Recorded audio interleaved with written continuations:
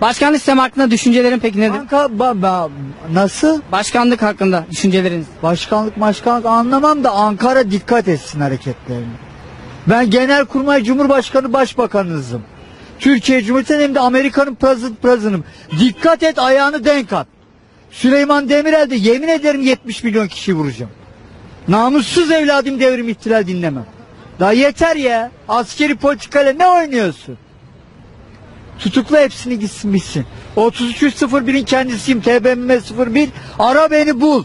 Ankara beni bulsun. Yarın öbür gün hazine açıldığında bulamadığında canın